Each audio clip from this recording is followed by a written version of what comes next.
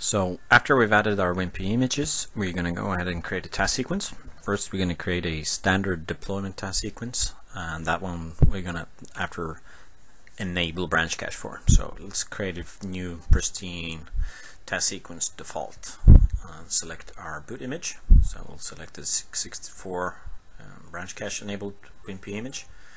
Select a Windows installer package or WIM image installer package. Make sure you select the image because that will then enable it to add the UEFI support. We select which domain to put it into and then basically we select which workstation OU. Putting it in the right workstation OU is of course important because we want the GPO to enable the branch cache GPOs.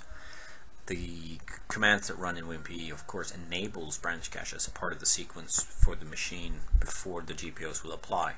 But of course, on the more frequent running set, we want to um, have that enabled. So we're just going to select default values here and make sure that we get the updates as well. The, the purpose of this is just to make sure that people understand the concept of adding in the different steps within uh, the different part of the sequence. So once we got our default task sequence that we're going to modify, we're going to open it up and see that's typically a very standard default one. Then what we're going to do is we're going to go to our download zip folder for the branch cache for OSD toolkit.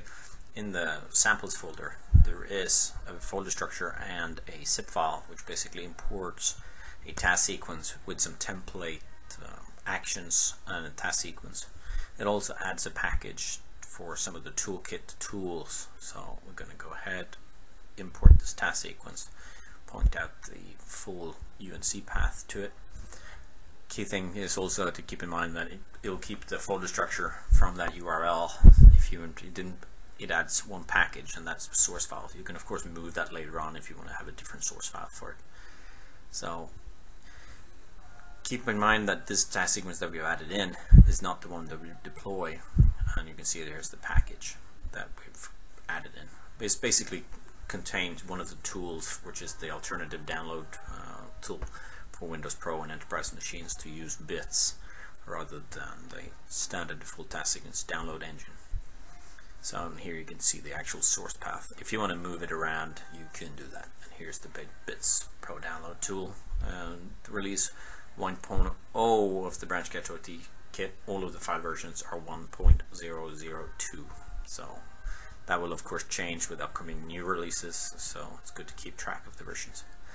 So Let's move over the standard task sequence to the right and put the sample actions to the right.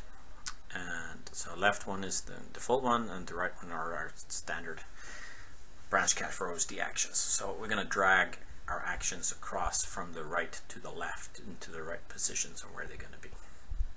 So for instance in here you can see where the different actions reboots to WinPE. So let's start with moving over the cache controller. So we'll copy that one and then we paste it in up there. It's a bit of a copy and paste operations to move everything around, but basically the cache controller section contains a variable that allows us to pre-cache this data and it needs to be in the root folder so make sure that everything is underneath that one.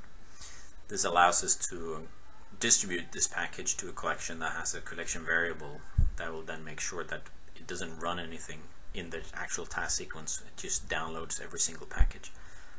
Then you can see we got some other actions here uh, that have been copied over and uh, basically what they do is that they enable the alternative content provider to use our download engine instead of the default one.